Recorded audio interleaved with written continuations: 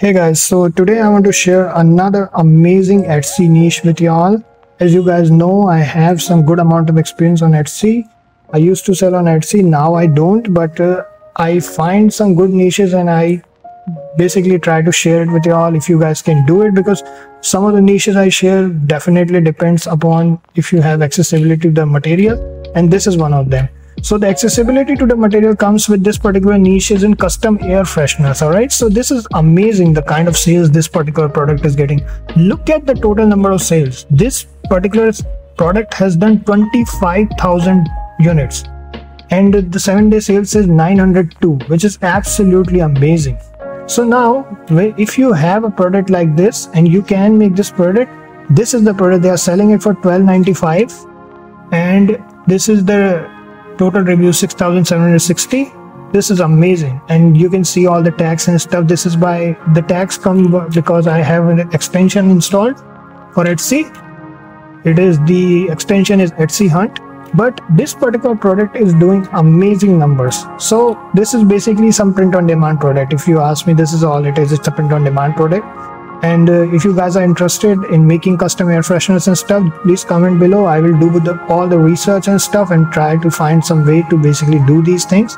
Now on etsy there are some questions that somebody asked that what are the things that are needed because they have seen some experience from my side on etsy. Now i can tell you the couple of things that you need to be very careful with is don't use copyrighted stuff.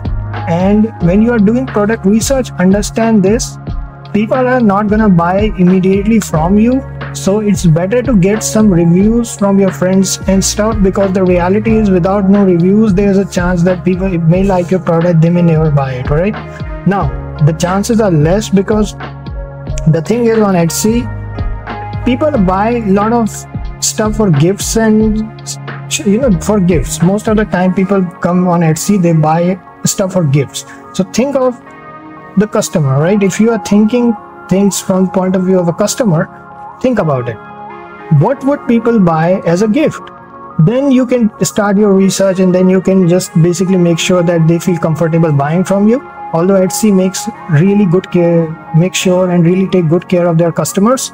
So as a seller you have to do the same to just make sure that they get the best quality product and whatever the case is just you can share your experience or you can share your shop link and i will review it for you. Now i do do paid reviews but if you don't have any money if you're just starting out it's a $10 review but if you don't even have $10 it's okay i will do it for free. And when you give make some money you can pay it if you want to if you don't you can keep the review it's okay.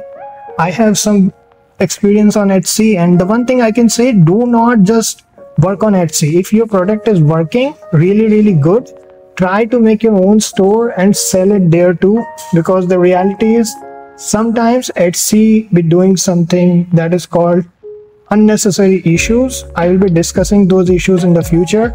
I have seen happen things happen to people and uh, I don't want and the same thing happened to me. So alright, so I always be, be aware people and most of the time it's because of the copyright stuff so whatever the case is just go ahead and try this product. This is a custom air freshener. They are making amazing amount of money. It's crazy the kind of money they are making. So the total sales is 25,000 12 12 95 cents. Even if a five dollar with a five dollar margin they are doing really good number. It's almost 125,000 dollars. That's pretty good. So all right. So that's all there is to it.